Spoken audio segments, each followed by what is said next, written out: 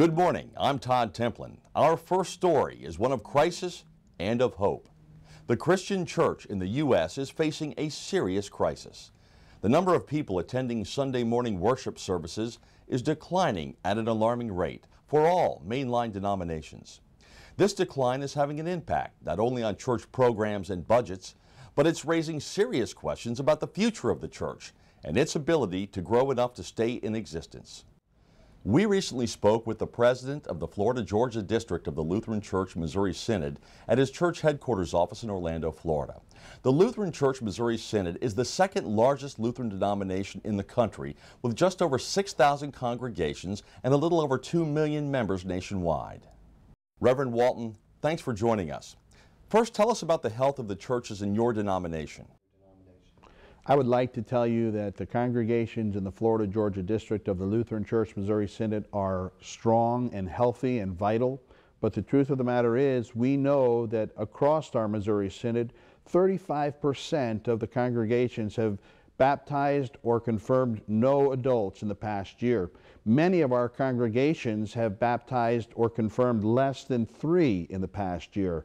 The fact of the matter is, many of our congregations are in decline or have plateaued and have not done the ministry they could. How is the FLGA addressing the crisis? The Florida Georgia District has always been very mission minded. In 2008, they launched a pilot program, Transforming Churches Network, in order to reach many more people with the gospel of Jesus Christ. This came as a result of a special study group that was put together in 2007, a futures committee that looked into a program called Transforming Churches Network. This program has helped to revitalize many congregations, and we have seen good things come from this in our own district. Can you tell me about the results? The results among the congregations in the Florida Georgia District have been varied. Some are doing very well, some are still growing in the process. But I want to tell you about one congregation in particular that saw this as an opportunity to better present the gospel of Jesus Christ and strengthen their image in their community. Our Savior Lutheran Church in Plantation, Florida got a vision for how Transforming Church Network could really impact their community. They got it. Here we are outside of Our Savior Lutheran Church in Plantation, Florida, a suburb of Fort Lauderdale. They have been taking part in TCN for about a year now and having great success. Let's go inside and meet Pastor Ed Nicholas to find out more. Pastor Nicholas, tell our viewers why your church decided to participate in TCN.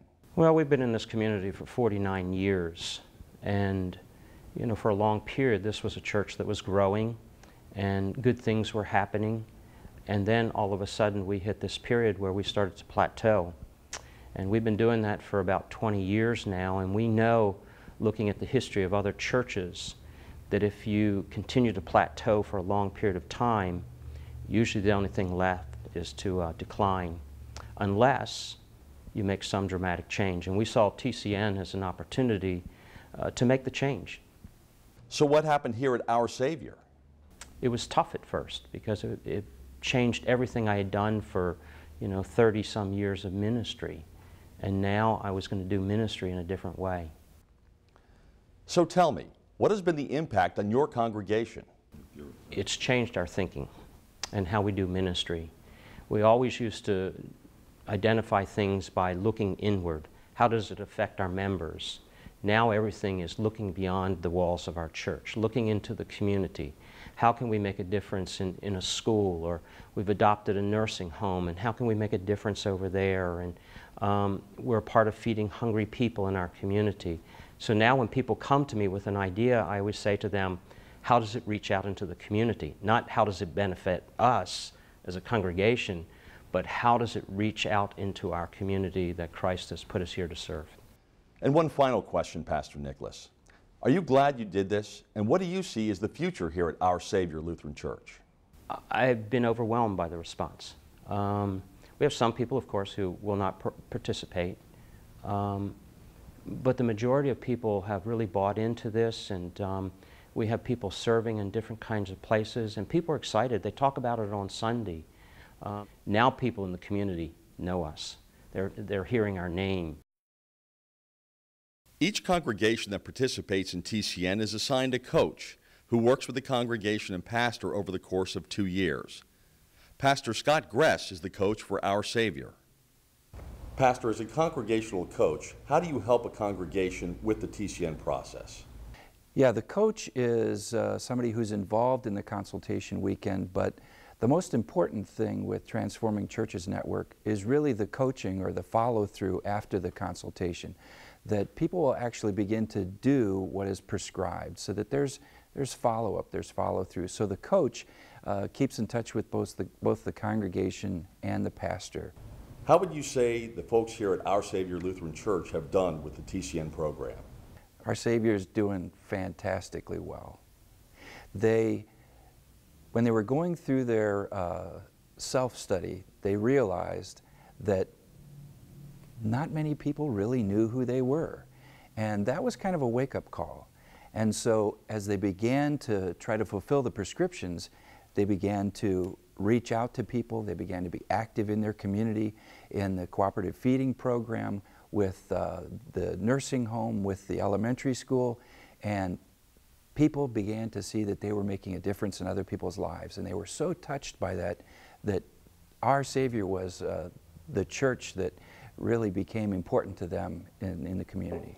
The congregational staff is vital to success of the TCN project because they end up managing the outreach ministry efforts. Some examples include recruiting volunteers, setting up events, doing follow-up, and public relations. Every third Sunday of the month, our youth group comes together at 8 o'clock in the morning and they put together care packages, they make sandwiches for the homeless, and after the 11 o'clock service, we go over to the cooperative feeding program and hand it out to those who are in need. One of the things from TCN is that we have increased our financial commitment to the Florida Georgia District. Another thing that came out of our consultation weekend is that we should be having small groups. We call our small groups connections. TCN has come to our church, and I feel like it has empowered us to be able to walk out the door instead of staying inside, which is a wonderful aspect of um, being in our community uh, and showing our Christian witness there. Our Savior Lutheran Church adopted TCN. We were challenged with opportunities to have our students and our staff reach out to the community. One of the first things that we did was we realized that our partner school, Mirror Lake Elementary, would be taking FCATs. We had our students write letters of encouragement to those students, and we found that they were funny and encouraging as well. One of the most important things about the TCN project at our church was getting the people to have the mindset of being concerned and caring about our, uh, our neighbors and the people in the community. So I programmed music in ahead of time before we voted to start the TCN program, using a lot of outward reaching music, um, songs that are contemporary in its focus so people became aware of people outside of our own building.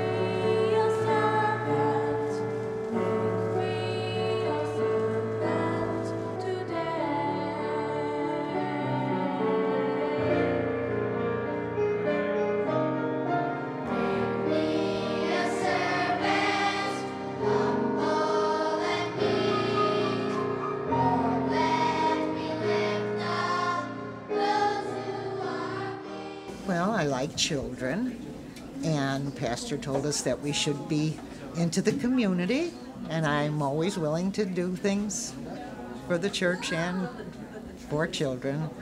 And I've gotten more out of it than I'm sure Shaniqua's gotten out of it. When I'm like hurt or I feel down or I need help with something or ask her questions about how does she feel when somebody hurts her or if I don't understand a question, I'll ask her. He makes me read, do my work, play games. We have fun together. Uh, we matched up some of those women from that organization that meets for Bible study, plus many of uh, the other people from the church, and one on one, they have a child. They read with them, they do some schoolwork, some of them do artwork. We even have one of their members with a, do- a service dog who's matched up with one of our first grade classes and comes every week. And they do wonderful things with the dog named Morgan. So we have just a variety of activities. Well, I have only been here since November. So to walk into a school and to find out that there's over 40 mentors, it was um, overwhelming. Um, you're used to seeing two or three. In fact, sometimes when I go to meetings and say, "Well, I have 40 mentors," I have area directors and uh, superintendent who just looks at me and think I'm crazy. But um, since then, they've talked to me about it, and I've told them that I, I can't imagine having the school now without them. That um, they come in here, uh, they come from from the community with all this love, and they give children love. And there are some of our children just really do not have a lot of that at home. And so, if there's just one person in their life, I know they can make a difference, and these people have. And that's what's so special is is that I saw them at a mentor breakfast, and here these children get up on a mic and start talking about their mentor and how much they love them, and um, knowing that there's someone here motivates those children to learn and to succeed. In the midst of a major decline in the role and effectiveness of the Christian church in America today, we have seen a story of hope and encouragement in Our Savior Lutheran Church in Plantation, Florida.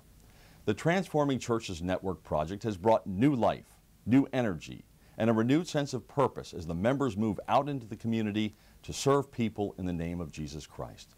From mentoring students in a public elementary school to participating in the cooperative feeding program, these church members are carrying out the charge that Jesus left for his followers to share his love and peace with all people.